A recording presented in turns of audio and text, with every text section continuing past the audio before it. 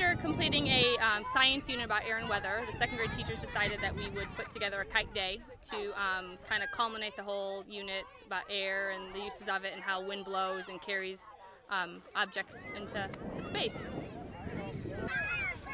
This is the first year we've done it. We that we have done it. We started with a second grade picnic outside this afternoon, and then um, the kids had to make their kites at home. It was a science project grade, so they all brought them in today, and they kind of, they leave our school after today, so um, after this year, so they head over to Jerry Ross. They had two weeks to make the kites, and um, it was very interesting to hear their conversations about what was happening at home. So it was good. I think the parents are having more fun out here, kind of helping out, being young again. But I think the kids are enjoying themselves.